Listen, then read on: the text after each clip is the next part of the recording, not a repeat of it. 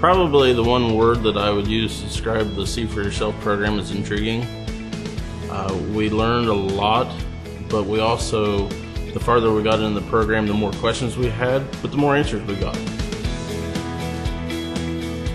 The biggest takeaway from the See for Yourself program to me was that my checkoff dollars that are coming out of my check when I sell my soybeans are being spent to open up markets in other countries and uses for, for my soybeans that I grow on my farm.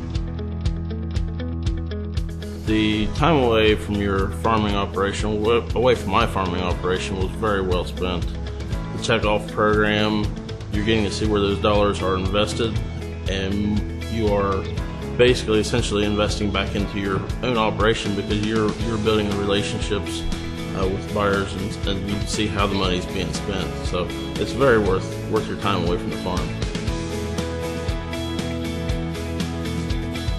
I would encourage another farmer to apply for the program because your your checkoff dollar you can see that coming out of your check, but you don't necessarily see where that money is going. So you apply for this program, it's a good opportunity to have a first-hand look at where those dollars are being spent.